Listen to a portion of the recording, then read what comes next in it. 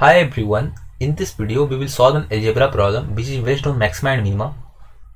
The problem is given as we have to find the smallest possible value of this whole expression.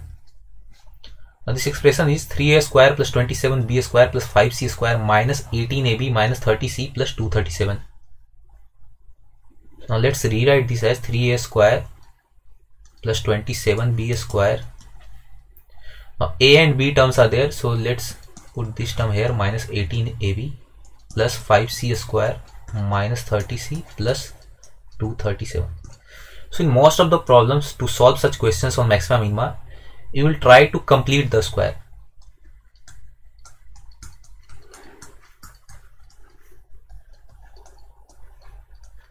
So this is the method usually that we follow in quad in finding the maxima and minima for quadratic expressions. Now what does complete the square means so we have to we will try to find we will try to form a complete square from these expressions. So how can we find? So let's say can we form a complete square from these three? So let's try. If I take 3 common so I will get a square plus 9b square minus 6ab right? Now from here if I take 5 common then c square minus 6c now to complete this square I would need c minus 3 whole square. This can be written as 2 into 3 into c. So I can form a square on 3. So I would need 9 here.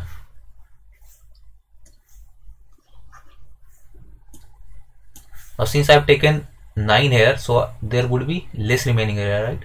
So 9 into 5, 45. So here the remaining would be 237 minus 45 that would be 192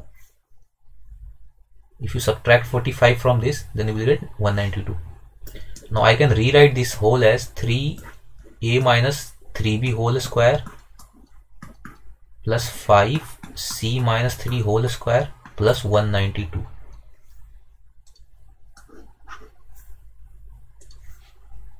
192 now this whole expression is reduced to this one. Now we have to find the minimum possible value of this whole expression. Now this is quite easy, right? Because we know that for all the quadrant, all the perfect squares, the minimum possible value that it can hold is 0. So this will be 0, this will be 0. We are remained with 192. So our answer would be 192. This is our answer so i hope you got this. This was an easy question but it may seem slightly confusing at the start.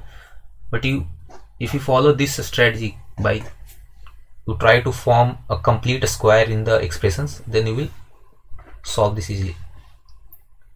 Now this is a standard pattern i would say. You will find many such questions on based on this pattern only where where you will have to find the maxima or minima involving quadratic expressions